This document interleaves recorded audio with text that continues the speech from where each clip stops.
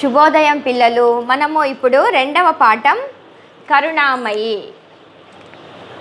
కరుణామయి అంటే జాలి దయ కలిగిన ఆడవాళ్ళని కరుణామయి అంటారు. మగవాళ్ళని కరుణామయుడు అంటారు. ఓకే? ఫస్ట్ ఇప్పుడు మొదటి పారా చదువుతున్నాను. ఒకసారి చూడండి. శిరస్సుపై నుండి పాదాల దాకా వేలాడే నీలి అంచు గల తెల్ల చీర ధరించిన ఆ మహావ్యక్తిని గూర్చి తెలియని వారు ఈ ప్రపంచంలోనే ఉండరు. పేదలు అనారోగ్య పీడితులు అయిన వారికి ఆరాధ్య దేవత ఆమె. పేదల ఎడ ఆమె చూపిన కరుణ వారికి చేసిన నిస్వార్థ సేవే అందుకు కారణం. ఆ కరుణామయ్యే మదర్ థెరీసా ఇప్పుడు అర్థమై తెలిసింది కదా ఎవరో ఆ కరుణామయి? ఆ కరుణామయి ఎవరు? మదర్ తెరిసా చూడండి ఇక్కడ బొమ్మ చూడండి.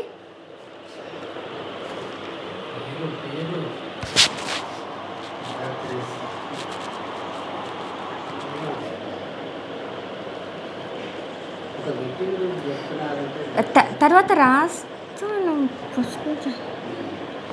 మదర్ తెరేసా ఇక్కడ బొమ్మ చూడండి ఫస్ట్. శిరస్సు నుండి పాదాల దాకా నీలి అంచు బ్లూ కలర్ అంచు నీలి అంచు ఉంది. బ్లూ కలర్ని నీలి అంటారు కదా? ఇదిగో నీలి అంచు. గల తెల్ల చీర. ఆమె ఎప్పుడు కూడా తెల్ల చీరనే ధరించేది. బ్లూ అంచు గల బ్లూ అంచు ఉండేది దానికి. ఆ మహావ్యక్తిని శిరస్సు అంటే తల. ఆ మహావ్యక్తిని అంటే ఆ గొప్ప మనిషిని. ఆ గొప్ప మనిషిని గూర్చి తెలియని వారు ఈ ప్రపంచంలోనే ఉండరు. ఈ ప్రపంచంలోనే ఎవరు లేరు. మదర్ తెరీసా గురించి తెలియని వాళ్ళు. పేద ఎందుకు ఆమె గురించి తెలియని వాళ్ళు లేరు అంటే ఆమె నిస్వార్థ సేవే దానికి కారణం. ఎవరికి సేవ చేసింది? పేదలు అనారోగ్య పీడితులు అయిన అయిన వారికి ఆరాధ్య దేవత ఆమె.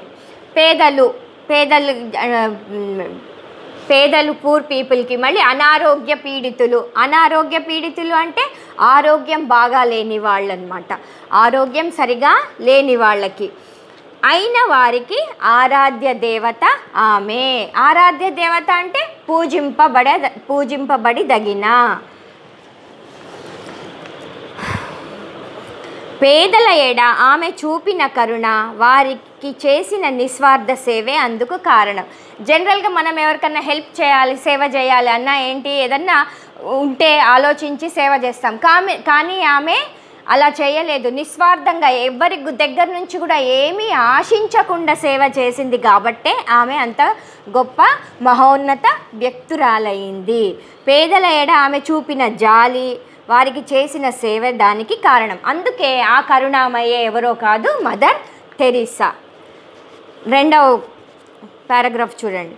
పంతొమ్మిది వందల పదవ సంవత్సరం ఆగస్ట్ ఇరవై ఏడున దక్షిణ యుగోస్లేవియాలోని స్కోప్జీ అనే ఊరిలో ఆగ్నెస్ గోయాంకా బోజాక్షు జన్మించింది. పాఠశాల విద్యార్థిగా ఉన్నప్పుడు ఒకరోజు పాఠశాలకు వెళ్తూ రోడ్డుపై పడిపోయిన వృద్ధుని ఆగ్నెస్ చూసింది. ఎవరూ అతడిని పట్టించుకోవటం లేదు. ఆగ్నెస్ అతన్ని మెల్లగా వైద్యశాలకు చేర్చి బడికి ఆలస్యంగా చేరింది. తన ఆలస్యానికి కారణం టీచర్కు చెప్పింది.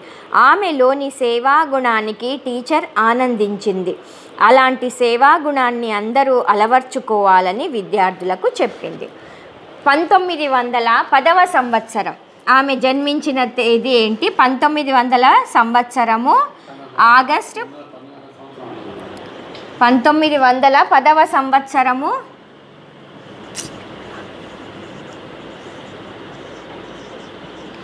ఆగస్ట్ ఇరవై ఏడున జన్మించింది. ఎక్కడ? దక్షిణ యుగోస్లేవియా యుగోస్లేవియాలో జన్మించింది.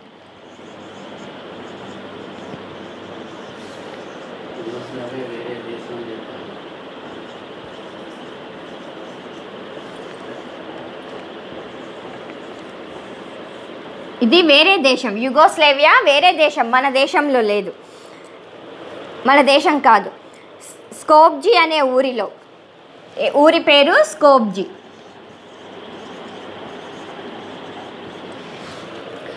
యాగ్నెస్ గోయాంక. ఆమె అసలు పేరు ఆగ్నెస్ గోయాంక బోజాక్షు తర్వాత ఆమెని మదర్ తెరీసా అనడం స్టార్ట్ చేశారు. కానీ అసలు ఫస్ట్ ఆమెకి వాళ్ళ తల్లిదండ్రులు పెట్టిన పేరు యాగ్నెస్ గోయాంక బోజాక్షు యాగ్నెస్ గోయాంక బోజాక్షు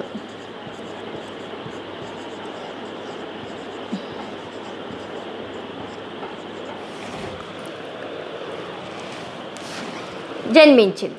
పాఠశాల విద్యార్థిగా ఉన్నప్పుడు ఆమె చిన్నగా ఉన్నప్పుడు చదువుకునే రోజుల్లో స్కూల్లో చదువుకునే రోజుల్లో పాఠశాలలో చదువుకునే రోజుల్లో ఒకరోజు బడికి వెళ్తూ రోడ్డుపై పడిపోయిన వృద్ధుని చూసింది.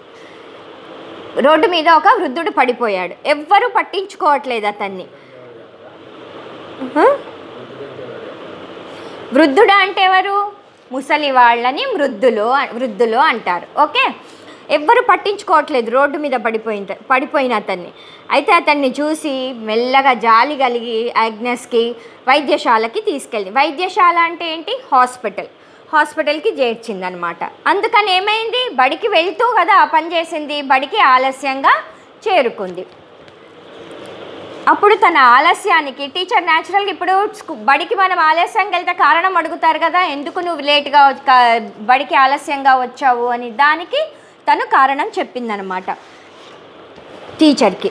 ఆలస్యం ఎందుకైందో తన ఆలస్యానికి కారణం ఏంటో టీచర్కి చెప్పింది. ఆమెలోని సేవా గుణానికి టీచర్ ఆనందించింది. చాలా ఆనందించింది టీచర్ అది విని. ఎందుకంటే అంత చిన్న పిల్లకి అంత సేవా గుణం ఉందంటే చాలా ఆనందించి మిగతా వాళ్ళకందరికీ కూడా చెప్పింది. మీరు కూడా యాగ్నెస్ లాగా అలా సేవా గుణాన్ని అలవర్చుకోవాలి అనేసి అంటే అలవర్చుకోవడం అంటే ఏంటి? అలవాటు చేసుకోవాలి. మనం ఎవరికైనా హెల్ప్ చేస్తూ ఉంటే అదే అలవాటుగా మారిపోతుంది. అందుకు అని చెప్పిందనమాట. మూడో పేరా చూడండి. సేవాశక్తి గల అగ్నెస్ పద్దెనిమిదవ ఏట డబ్లిన్లోని లొరేటో అనే సంస్థలో చేరి శిక్షణ పొందింది. అక్కడ సిస్టర్ మేరీ థెరీసా అయింది. పంతొమ్మిది వందల ఇరవై తొమ్మిదిలో మన దేశానికి వచ్చింది. కలకత్తాలో ఉపాధ్యాయురాలిగా పాఠశాల ప్రిన్సిపాల్గా యుద్ధంలో గాయపడిన వారికి సేవకురాలిగా పనిచేసింది. నిరుపేదలకు సేవ చేసేందుకు మిషనరీ అధిపతి పోప్ ఆశీస్సులు పొందింది. పాట్నాలో నర్సు శిక్షణ పొందింది. పంతొమ్మిది వందల పద్దై నలభై స- పంతొమ్మిది వందల నలభై ఎనిమిదిలో భారతీయ పౌరసత్వం పొంది మురికివాడల పిల్లలకు విద్యాబుద్ధులు నేర్పసాగింది. ఆమె నిస్వార్థ సేవకు ప్రపంచవ్యాప్తంగా ఆకర్షితులైన వారెందరో ఆమె కార్యక్రమాలకు విరాళ విరాళాలనిచ్చారు. అందుకే ఆమె మదర్ థెరిసా అని పిలిచారు. చిన్నగున్నప్పటి నుంచి ఆమెకి సేవ చేయడం అలవాటైంది కదా. సేవాశక్తి గల అగ్నెస్ పద్దెనిమిదవ ఏట డబ్లిన్లోని లొరై లొరేటో అనే సంస్థలో చేరి శిక్షణ పొందింది. అప్పుడు లొరేటో అనే సంస్థ ఒకటి ఉంది అది ఇలా సేవ చేసే వాళ్ళకి శిక్షణ ఇస్తూ ఉండేవాళ్ళు. దాంట్లో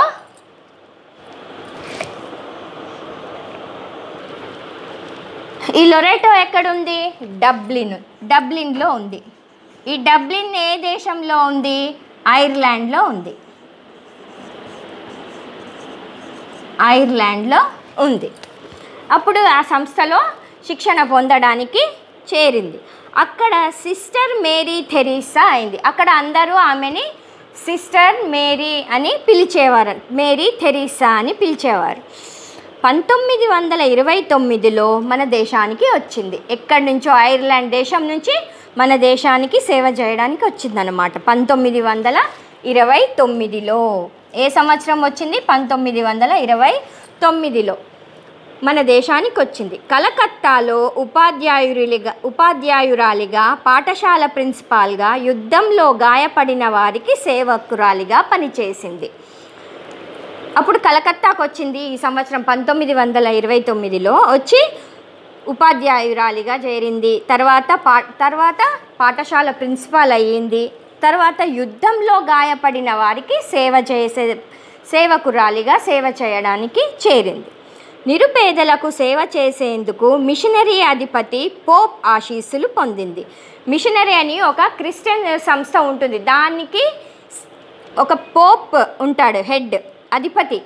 పోపు అన్నమాట దానికి. అతని ఆశీస్సులు పొందింది. ఎందుకు? నిరుపేదలకు సేవ చేయడానికి అతని ఆశీస్సులు తీసుకుందనమాట పాట్నాలో నర్సు శిక్షణ పొందింది. తర్వాత పాట్నాలో నర్సు శిక్షణ పొందింది. పాట్నా మన దాంట్లోనే ఉంది మన దేశంలోనే ఉంది. బీహార్ రాజధాని పాట్నా. పంతొమ్మిది వందల నలభై ఎనిమిదిలో భారతీయ పౌరసత్వం పొంది మురికివాడల పిల్లలకు విద్యాబుద్ధులు నేర్పసాగింది. నై పంతొమ్మిది వందల నలభై ఎనిమిదిలో భారతీయ పౌరసత్వం. అంటే ఆమె వేరే దేశస్తురాలు కదా. మన దేశంలో ఎన్నో సంవత్సరాల సంవత్సరాల నుంచి ఉంటుంది. ఎప్పటికో ఎప్పుడు వచ్చింది పంతొమ్మిది వందల ఇరవై తొమ్మిదిలో వచ్చింది. అంటే పంతొమ్మి పంతొమ్మిదేళ్ళు మన భారతదేశంలో ఉంది కాబట్టి ఆమెని కూడా భా ఆమెకి భారత పౌరసత్వం అంటే సిటిజన్షిప్. ఆమె కూడా ఒక భారతీయురాలి కిందనే ఇప్పుడు మన దేశంలో ఉంటుంది కాబట్టి అని ఆమెకి పౌరసత్వం వచ్చిందనమాట అప్పుడు మురికివాడలు కలకత్తాలో మురికివాడలు అవి ఇవి ఉంటాయి కదా వాళ్ళ ఆ పిల్లలు మురికివాడలో పిల్లలు స్కూళ్ళకి వెళ్ళరు కదా బడులకు వెళ్ళరు కదా వాళ్ళని అందరినీ దగ్గరికి చేర్చి వాళ్ళకి చదువు చే- నేర్పడం మొదలుపెట్టింది. ఆమె నిస్వార్థ సేవకు ప్రపంచవ్యాప్తంగా ఆకర్షితులైన వారెందరో ఆమె కార్యక్రమాలను విరాళనిచ్చా విరాళాలనిచ్చారు. అందుకే ఆమెను మదర్ తెరేసా అని పిలిచారు. ఇప్- పేదవాళ్ళకి ఏమన్నా చేయాలంటే డబ్ ఇప్పుడు ఏ పని చేయాలన్నా డబ్బుతో సమస్య కదా. అందుకని ఆమె నిస్వార్థంగా చేసే సేవ చూసి అందరూ ఆమెకి విరాళాలను ఇచ్చేవాళ్ళు అనమాట డొనేషన్స్ ఇచ్చేవాళ్ళు. ఎందుకు? ఇంకా ఇంకా ఎక్కువ ఎక్కువ చేయడానికి. అలా చేసి అందరూ ఆమె నిస్వార్థ సేవకి మెచ్చుకుని ఆకర్షితులై అందరూ ఆమెకి ఏం చేశారంటే డబ్బులు ఇస్తూ ఉండేవాళ్ళు. అవన్నీ పేదవాళ్ళకి వాళ్ళకి దేనికైనా మంచిదానికి ఉపయోగపడేటట్టు సేవ చేసేదన్నమాట. అప్పటి నుంచి ఆమెని మదర్ తెరిసా అని పిలవడం స్టార్ట్ చేశారు. ఇప్పుడు చూడండి తల్లి ఏదైనా నిస్వార్థంగా చేస్తుంది కదా అందుకనే ఆమెని మదర్ అన్నారు. ఓకే? అనాథాశ్రమ నాలుగో చూడండి నాలుగో పేర చూడండి. అనాథాశ్రమాలు విద్యాలయాలు కుష్టు వ్యాధి నివారణ కేంద్రాలు చికిత్సాలయాలు ప్రపంచమంతటా ఆమెను నిర్వహణలో ఏర్పడ్డాయి. ఎక్కడ బాధితులున్నారో అక్కడకు తెరిస్సా చేరి సేవ చేసేది. తన జీవితం అంతా పేదల సేవలోనే గడిపింది. పంతొమ్మిది వందల డెబ్భై తొమ్మిదిలో నోబెల్ శాంతి బహుమతి పంతొమ్మిది వన్ పం పంతొమ్మిది వందల ఎనభైలో భారత్ భారతరత్న బిరుదు ఆమెను వరించాయి. పంతొమ్మిది వందల తొంభై ఏడు నవంబర్లో ఆమె భగవంతునిలో లీనమైనప్పుడు కంటతడి పెట్టని వారు లేరు. ఆమె ఆ డబ్బుతోటి వివిధ విధ వివిధ కార్యక్రమాలు చేసేదనమాట అనాథాశ్రమాలు కట్టించింది విద్యాలయాలు కట్టించింది. కుష్టు వ్యాధి అంటే కుష్టు వ్యాధి వాళ్ళని అన ఇందాకే మనం తెలుసుకున్నాము అనారోగ్య పీడితులు. కుష్టు వ్యాధి వాళ్ళని ఎవ్వరు దగ్గరికి రానియరనమాట కానీ అలాంటి వాళ్ళ దగ్గరికి కూడా వెళ్ళి ఆమె సేవ చేసేది. వాటికి నివారణ కేంద్రాలు. అది అంటువ్యాధిలాగా ఉన్ అనుకుని అందరూ ఎవరు దగ్గరికి రానిచ్చేవాళ్ళు కాదు. ఒక ఊరి చివర వాళ్ళకి ఒక ఇది కట్టేసి అక్కడ వాళ్ళని అక్కడే ఉంచేవాళ్ళు. అక్కడే వాళ్ళకి అన్ని ఏర్పాట్లు చేసేవాళ్ళు అనమాట చికిత్సాలయాలు ప్రపంచమంతటా ఆమెను నిర్ నిర్వహణలో ఏర్పడ్డాయి. ఆమె నిర్వహణలోనే ఈ చికిత్సా కేంద్రాలన్నీ కుష్ఠవ్యాధి వాళ్ళకి చికిత్స చేసే కేంద్రాలన్నీ ఏర్పరిచేటట్టు చేసింది. ఎక్కడ బాధితులు ఉన్నారో అక్కడకు తెరిసా చేరి సేవ చేసేది. ఎక్కడ ఉన్నారు వీళ్ళు బాధితులు? నీ తన అవసరము ఎక్కడుంది అని అనుకుంటే అక్కడికి వెళ్ళి అందరికీ సేవ చేస్తూ ఉండేది. తన జీవితం అంతా పేదవాళ్ళ సేవలోనే గడిపింది. అందుకని ఆమె సేవని చూసి గుర్తించి పంతొమ్మిది వందల డెబ్బై తొమ్మిదిలో నొబెల్ శాంతి బహుమతి అది చాలా గొప్ప పురస్కారం. నొబెల్ శాంతి బహుమతి పొందడం అంటే చాలా గొప్ప పురస్కారం అది కాబట్టి ఆమెకి ఇచ్చారు తర్వాత పంతొమ్మిది వందల ఎనభైలో భారతరత్న మన భారతదేశస్థులు భారత భారతరత్న అనే బిరుదు కూడా ఇచ్చారు. పంతొమ్మిది వందల తొంభై ఏడు నవంబర్లో ఆమె భగవంతులిలో లీనమైనప్పుడు కంటతడి పెట్టని వారు లేరు. ఆమె చనిపోయింది మరణించింది పంతొమ్మిది వందల తొంభై ఏడు నవంబర్లో. అప్పుడు అందరూ ఆమె చేసిన సేవలు చూసి వా పొందిన వాళ్ళందరే కాకుండా మొత్తం ప్రపంచం అంతా కూడా ఆమె చనిపోయినందుకు బాధపడ్డారు బాగా. ఏడవని వాళ్ళు లేరు. కంట తడి పట్టని పెట్టని వాళ్ళు అంటే ఏడవని వాళ్ళు లేరు. నెక్స్ట్ అర్థాలు చూద్దాం.